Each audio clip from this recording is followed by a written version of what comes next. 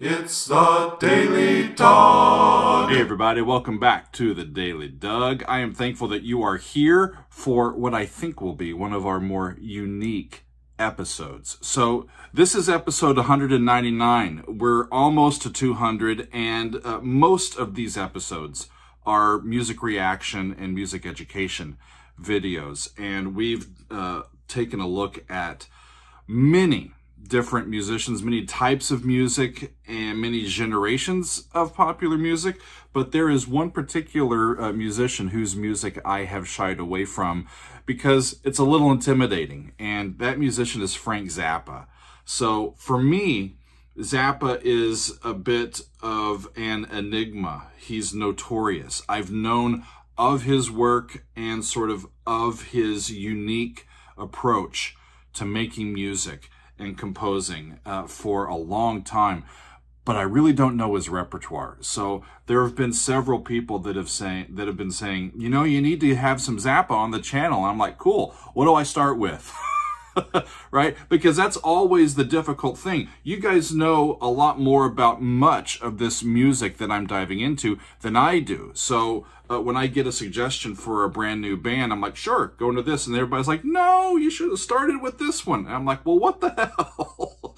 right? So now that we have our Patreon, uh, I, I uh, took to our little uh, private Discord uh, last week and I said, y'all, uh, Zappa, I need an introductory piece for the channel. Help me out. And of course, just loads of, of suggestions poured in.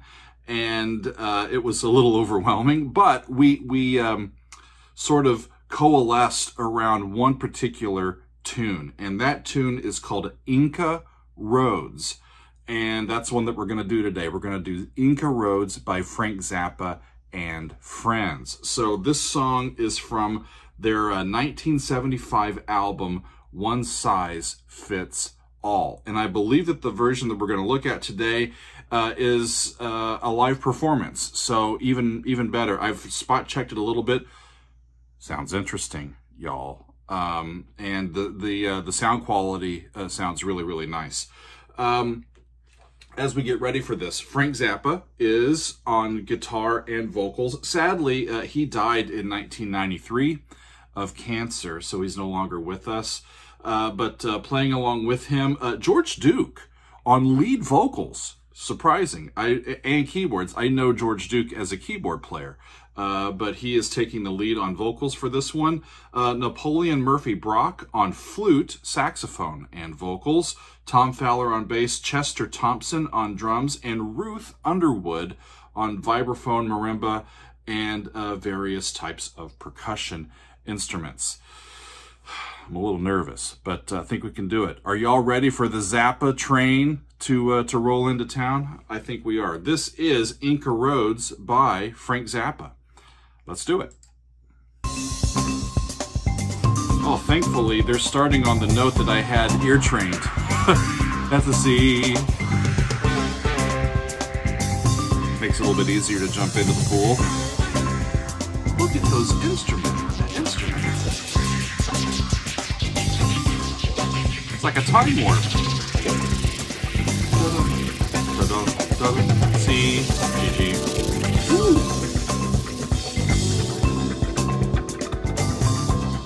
lovely chord. Sounds like D major over the top of that C chord. Did a vehicle come from somewhere out there? Just in the Andes. Was it round and did it have a motor? Or was it something different? Okay, that's interesting. Show up. different. I ain't never seen nothing Why don't like you that sharpen in my band? entire life. A round ball. I thought you couldn't break that white can't do nothing for you. Did a vehicle? What? Did a vehicle? Did a vehicle? Okay. okay. Okay. I gotta, I think I gotta change my swimsuit here and dive back in. Uh, y'all, um, the, the lyrics at the beginning Did a vehicle come from somewhere out there just to land in the Andes? Was it round and did it have a motor or was it something different? Uh, they're talking about uh, space invaders, right? Uh, Andes, are they talking about Machu Picchu, the uh, uh, the Nazca lines? Um, huh. And that was really interesting how um, they went to this spoken word section. And and Zappa's over there conducting. Like that is metered measured music. It's just sprechstimme spoken uh, word. Holy buckets. Okay off we go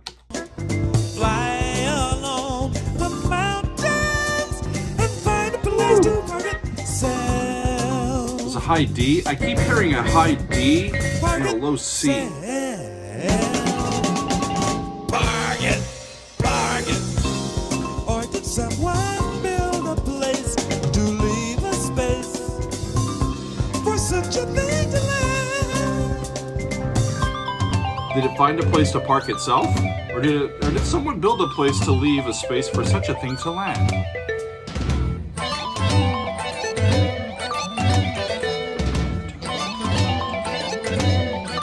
This is amazing, beautiful, and odd. Unconventional. All at the same time. Fascinating. Hmm.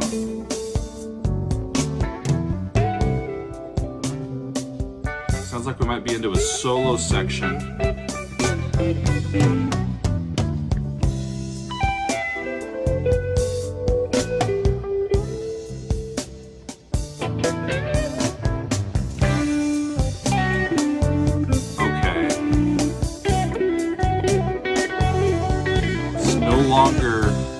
Performance video.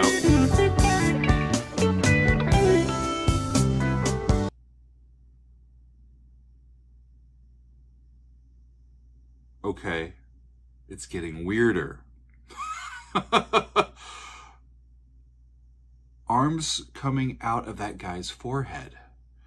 Um, I think I'm going to need something a little stronger than coffee to fully appreciate this. But uh, on we go. Here we go. That is slightly disturbing, but I want to keep watching. It's Claymation Zappa.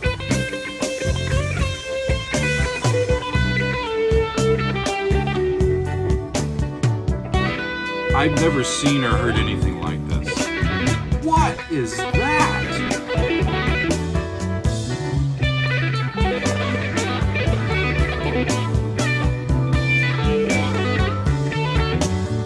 Are you watching this?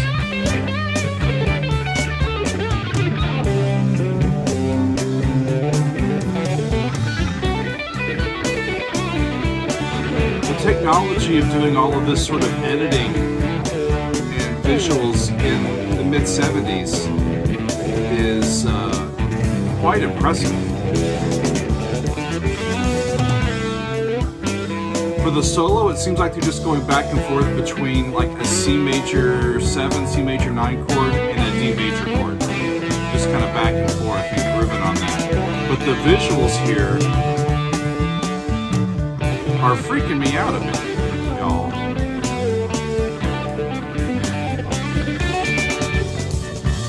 I would ask what the meaning is. I'm not sure what his point is or if there even is a point. If you are a Zappa aficionado and you know, uh, let us know.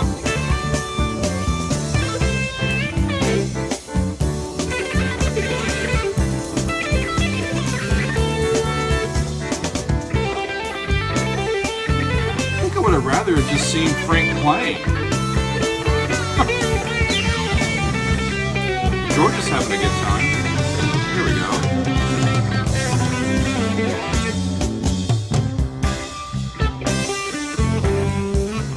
Face on his thumb. His thumb is eating his other finger.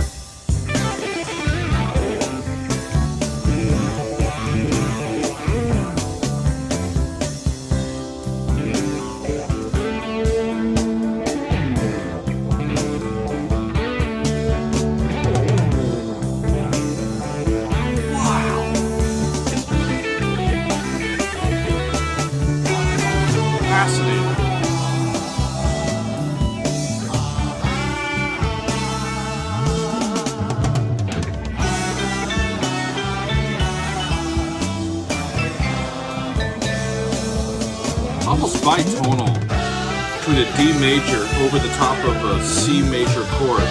They seem to be soloing like in the D major uh, collection, and then the harmonic palette is a step lower in C throughout this long solo. Wow.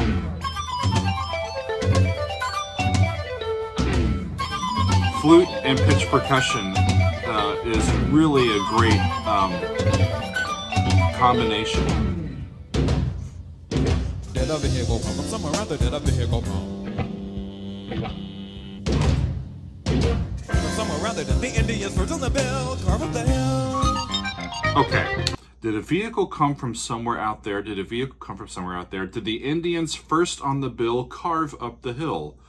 Was it Jack and Jill? Was it Phil or Bill? I don't know. It's uh I think he's not taking himself too seriously. And I also think that they're kind of taking a punch or a jab at some of the other prog songs of that generation that were kind of into mysticism and spirituality.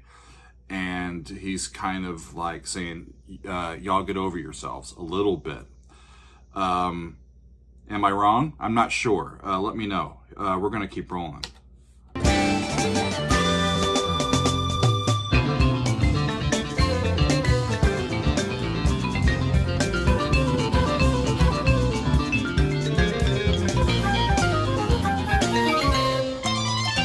The musicianship is unbelievable, by the way.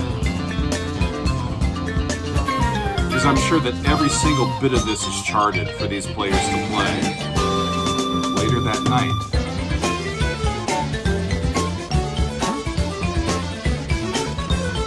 Something's happening, I can't even tell what.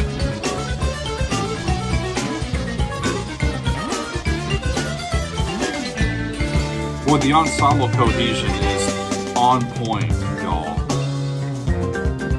These uh, changing meters, really complicated uh, voices. Really excellent. It, George?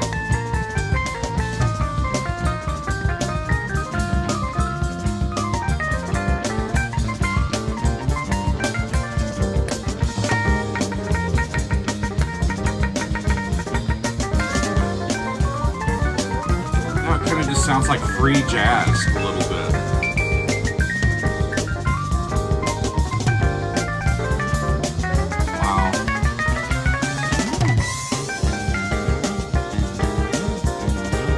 Frank's enjoying himself. I am too. Y'all, this is one of the more unique things I've ever heard.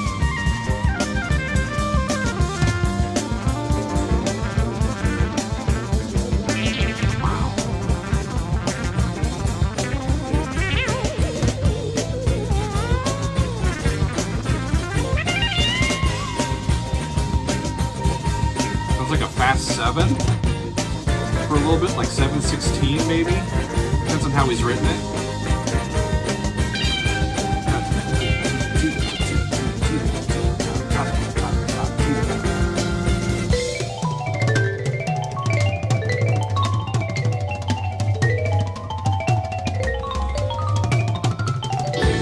Get down on that roof. Just a little motor? Or was she something different? Guacamole queen. Guacamole queen. Guacamole queen. At the Armadillo in Austin, Texas. Or did someone build a place or leave a space for Chester's thing to land? Chester's thing on roof. Did a booger back from somewhere out there? Did a booger back from somewhere out there? Did the Indians on the bell? Carve up their hill.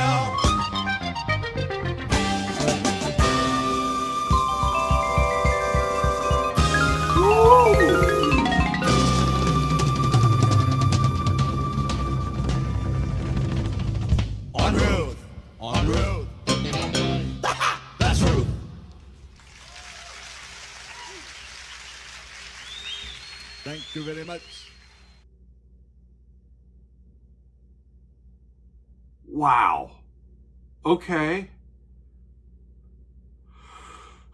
Well, I think I have officially be- been uh, zapped. y'all, because um, I can't unhear that or unexperience that.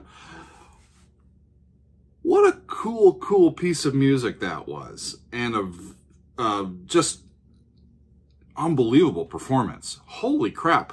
Uh, let me talk about the percussionist for a second. Ruth uh, is a monster on that uh, pitched percussion and uh, was very impressed by her prowess on that. And when we write for percussionists in a in a uh, in a classical or sort of a, a, stage setting, a lot of times we have to tell them um, all the instruments that they're going to play. There's a lot of English or a lot of uh, language that's in these scores for percussionists instead of just uh, saying violin, here's all your notes and here's the stems, and so you know what to do. But for percussionists, we have to tell them uh, what to hit, when to hit it, and what to hit it with, and how hard, and all that sort of stuff. And, and say, oh, and you're not going to go on this instrument anymore. Now you have to go to this instrument and hit it with this, and this is when you hit it. So there's a lot of direction, stage direction, that you have to learn to effectively write percussion parts for these players to understand and be able to learn how to play. Because you could see she was playing a whole battery of of instruments back there, and I'm sure it's in the score that uh, you know when she has to move from one instrument to another. Um, the singing, the the verses, with it being sort of completely out of the the meter of the groove and sort of uh, speech like, was an interesting choice to me, and just the sheer um, words themselves like in this last verse, did a booger bear come from somewhere out there just to land in the Andes? Guacamole Queen at the Armadillo in Austin, Texas. oh man, I have to dive a little more into Frank Zappa. This has been fun. I hope that you guys like this uh, or found it really interesting to follow along with because I'm, like I said, uh, I am zapped now. So I, I, have to dig a little bit deeper into what makes this guy tick because uh, um, I always, uh, when, when you find these unique musicians that have this sort of uh, off the beaten path perspective, and then they can back it up with music that's really engaging and performance and and skill, then they can bring it to life. It's it's really uh, a special special thing. So uh, look for some more Zappa down the road. What should what should I do next? Y'all let me know if you are big Zappa fans. Uh, what should we do next by him? Uh, because I have no idea. this has been fun for episode 199. We've got a big 200th uh, episode coming up tomorrow, and we're almost to 100,000 subscribers. So uh, share the the um, the channel with your friends. We got some cool stuff coming up and uh, just very thankful for all of you for tuning in. That's it for today, and we will see you next time on another edition of the Daily Doug.